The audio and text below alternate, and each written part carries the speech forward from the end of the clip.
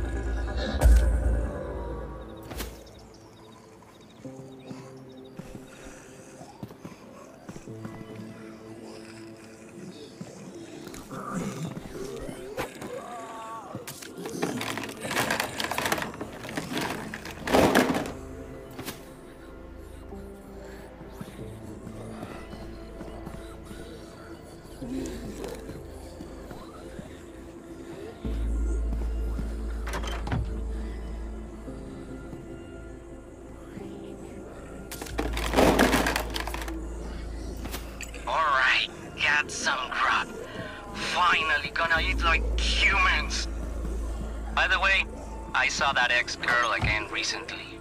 She's not like the others. A dangerous creature.